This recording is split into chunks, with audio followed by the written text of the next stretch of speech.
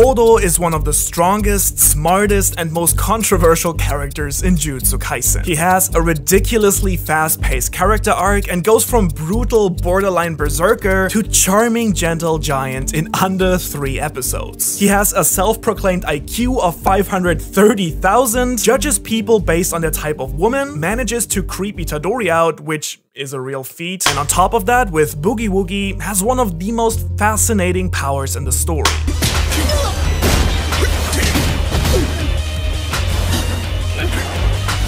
this video, you will learn everything there is to know about Todo. How strong he is, how smart he is, that his awesome voice actor is actually German, I know, the hell? And of course, the hidden genius behind his philosophy and design as a character that make him one of the most loved characters by fans and one of the most disliked characters in the story. This is the character analysis of Aoi Todo.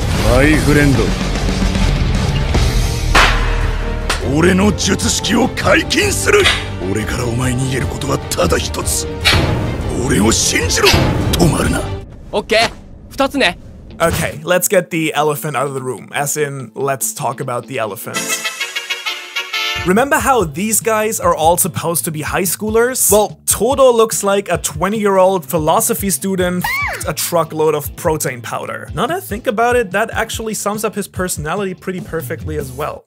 Huh. In terms of power, Akutami introduces Todo as a realistic measuring stick for Itadori and Ko. Someone who is a whole level or two above them, but more in reach than the walking and talking calamity that is Satoru Gojo. 来るなブラザーとんでもない呪力出力だ領域展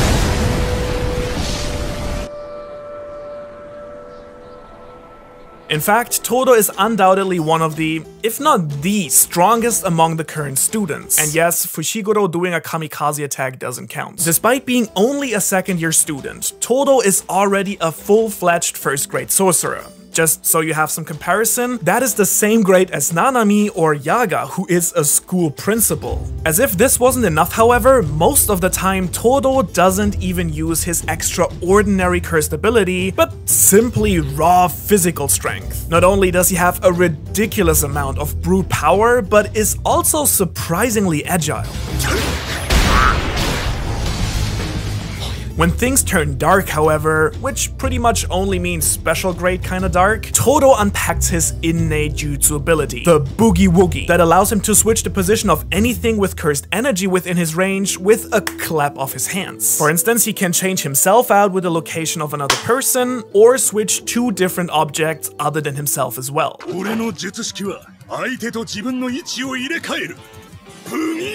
Now, is this technique ridiculously powerful? Obviously. But I want you to appreciate for a moment what an unusual matchup this power is for a Hulk-like guy like Todo. Because once again here, as you know from my other videos, Akutami absolutely loves playing with expectations.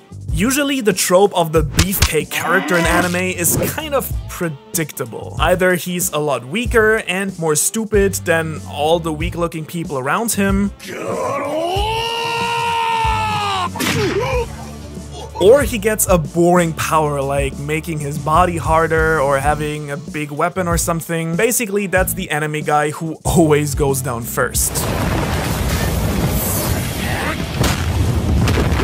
The idea here being that we as the audience go, ooh, he looks strong, just how will our skinny hero beat them? And then we're super surprised or whatever how powerful the small guy actually is. Let's be honest, this trope was basically dead after David versus Goliath, but it keeps coming back for some reason. Anyways, Todo flips that trope on its head in the sense that he looks incredibly strong, and he actually is incredibly strong.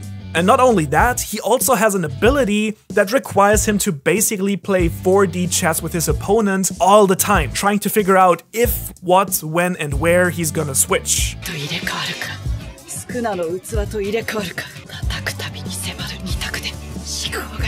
A buff dude who is actually buff and has an elegant ability that requires some brains. Hey anime industry, was it really that hard to come up with that sort of character? Because on top of his power, oh boy, Todo is a pretty sharp cookie.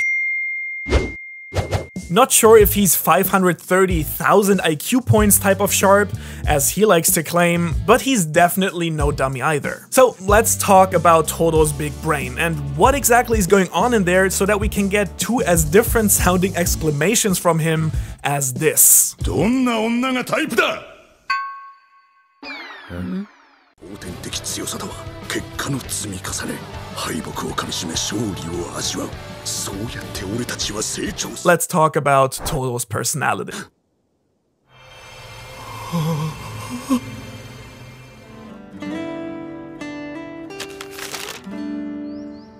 新連載結構面白いよ。ほう？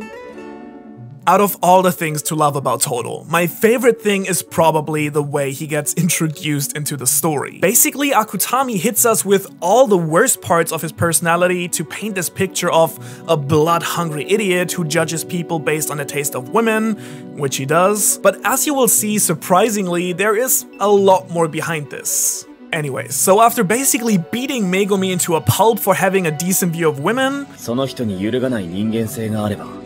その人に揺るがない人間性があればそれ以上は何も求めません we get a pretty rapid turnaround for his character. First, we see him going against a plan to assassinate Yuji, basically having as little respect for his classmates and teachers as for Megumi. Nice. Though, still no reason to like him, I guess. But at least we get that this man acts based on his own principle and isn't just a dick to Megumi for the sake of it. And then, of course, we get his interaction with Itadori, and oh boy, it's no surprise that these two click. After making up a completely fake flashback in his head that has more plot development than most regular the anime do, Todo suddenly sees Itadori as his best friends. My best friend!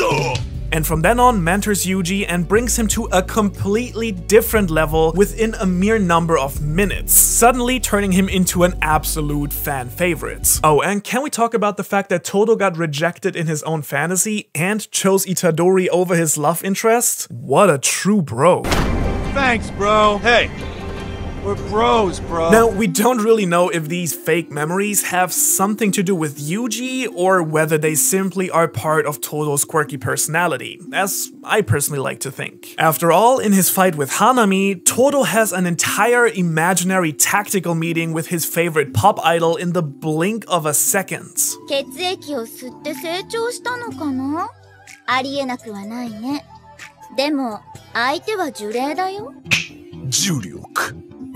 So I think that crafting a made-up backstory for some of the few people he can actually respect in this world, next to anyone who's stronger than him, which is basically all the special grades I guess, is very much in character for Todo. And I think it's this that proves just how smart a cookie he actually is. After all, I think you will find it pretty hard to describe this creative ability together with the ridiculously fast analytical information processing he has as anything but intelligent. On top of all this, Todo is an extremely smart and dexterous fighter when he has to, immediately unpacking his curse technique to its fullest against Hanami after realizing that this is an enemy that he cannot beat with power alone. However, uh, this sort of intelligence, while without any doubt impressive, pales in comparison to the part of Todo's character that I find truly impressive. His abs. I'm just kidding. The truly impressive part about Todo is actually his philosophy and approach to the central moral question of the story that makes him one of the most wise-looking characters in the story.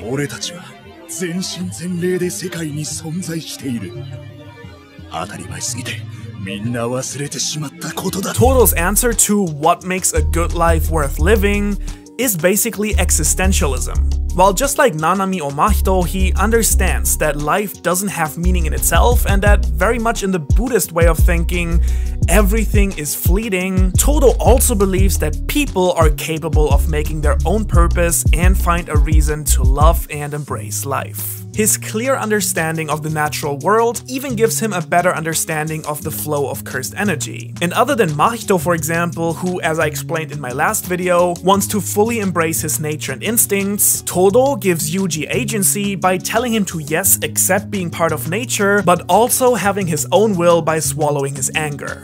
だがその怒りお前には余る今は収めろ So basically, Todo is someone who fights against the natural order of things for the sake of the love that he feels for other people. He even fights Hanami, who literally is an embodiment of nature. In fact, as ironic as it might seem, believe me, I know, love is actually the big theme behind Todo's character. So much so that Akutami even draws his cursed energy as taking the form of little hearts. Love in general is a very prominent theme in Jujutsu Kaisen that often is contrasted with the curses. もともとどこかの外国の人が言ったのは愛の反対は無関心ですよね However, what appears as comical and over the top on the outside when Todo suddenly treats Yuji as if they'd known each other since birth is actually Todo embracing his friendship and sudden brotherly love for Yuji as one of the driving factors in his life, just as his love for Takada. And even though they aren't real, to Todo they are and they give him meaning and happiness, not by accident, but by choice.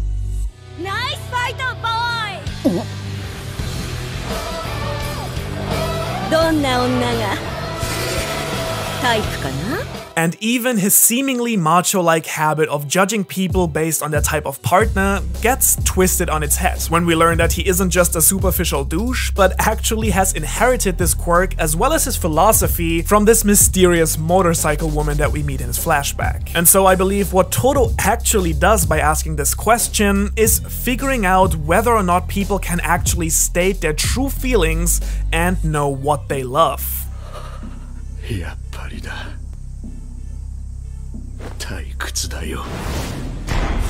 I don't think it's that everyone needs to love Jennifer Lawrence, it's that Yuji has no issue saying what he loves while Megumi does. Though I think you agree that it might be a bit over the top punching him into the ground for this.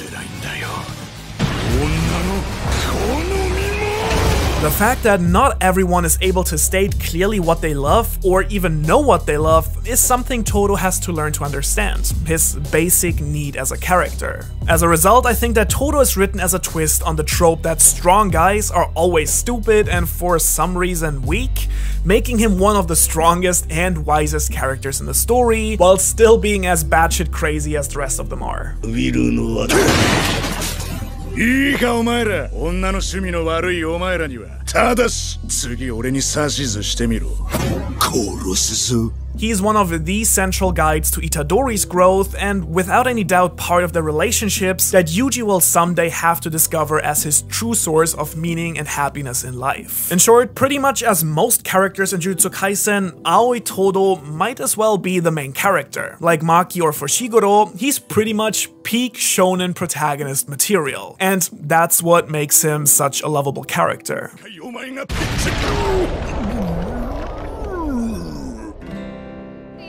お前がピッチャ東堂お前むちゃくちゃ嫌われてるな What better way to continue than talk about Todo's major enemy in the story, both physically and philosophically? 超本気を出した方が良さそうだ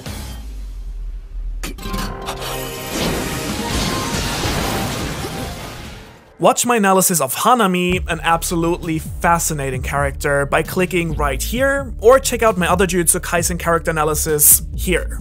Thanks for watching, peace.